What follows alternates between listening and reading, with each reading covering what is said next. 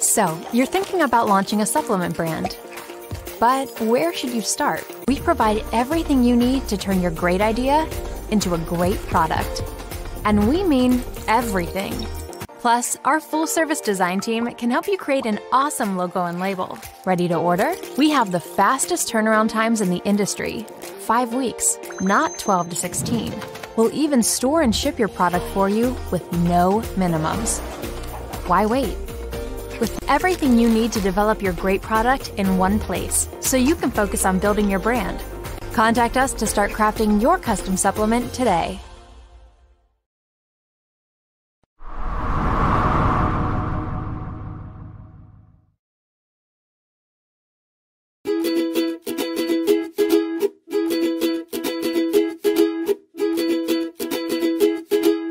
What's blue green can sometimes be mistaken for pond scum, yuck, but is super healthy and a great source of nutrients. Spirulina. Spirulina is a blue green algae that can grow in both fresh and saltwater. It comes in either powder form, flake form, or tablet form. Despite its icky look, spirulina is very good for your health, as it's considered one of the most nutrient rich superfoods available. In fact, in 1974, the World Health Organization tagged spirulina as an interesting food for multiple reasons rich in iron and protein, and is able to be administered to children without any risk. Also, in the same year, the World Food Conference declared it as one of the best foods for the future. At the time, spirulina was actually considered in helping to fight malnutrition in some parts of the world. So, what exactly does spirulina have?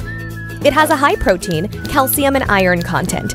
It also boasts a host of other nutrients, including copper, chromium, manganese, phosphorus, potassium, sodium, selenium, and zinc. It has vitamins A, C, D, E, and the B vitamins. It has essential amino acids and powerful antioxidants. And lastly, it also holds gamma linolenic acid and omega 3, 6, and 9s. With all that going on, it's no wonder that spirulina also has a lot of benefits to provide you and your body. Balances blood sugar. Studies show that spirulina may help in balancing blood sugar levels. Other studies also show that it can lower HbA1c, a marker of blood sugar levels. Spirulina is also effective as a medication for diabetes. Promotes heart health. Spirulina has beneficial effects for the heart.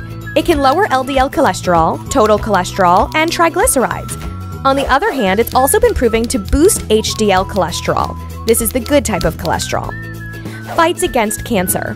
Spirulina contains anti cancer properties.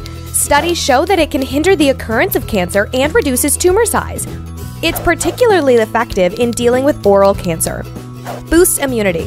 Spirulina has been proven to enhance the immune system and prevent the development of viral infections. Spirulina has phycocyanin, a nutrient that increases white blood cells.